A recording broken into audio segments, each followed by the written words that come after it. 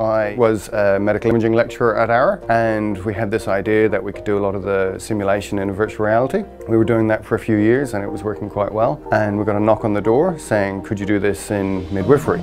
So the obvious answer is yes and then try and work out how to do it. I've never delivered a baby, so we relied on all the content knowledge from the local team here and we were able to put their knowledge in with our development team to develop a world first actually for ARA, which is great, a virtual reality birthing scenario which the nurses and the midwives will be using.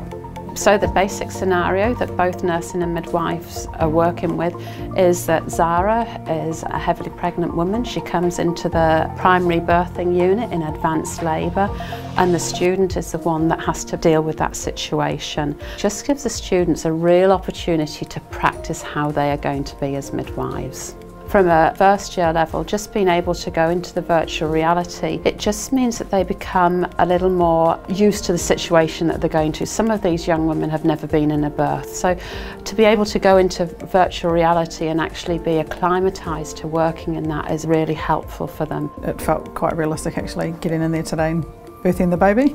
so we just had to encourage the woman, do the general obs on the lady and get some history, do the labour support that we would do and catch the baby and everything that comes after that. It was amazing.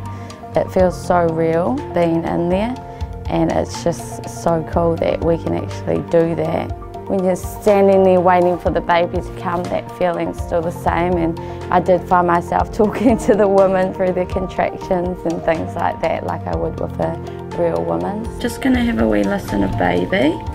Oh, that sounds lovely. Baby sounds very happy. What we're planning is that we can add on the extras that the students need to learn. So in second year when they're starting to work with more complex women, that we can actually maybe stop the virtual reality. We're looking at the, the ways that we can expand and grow this from a midwifery perspective.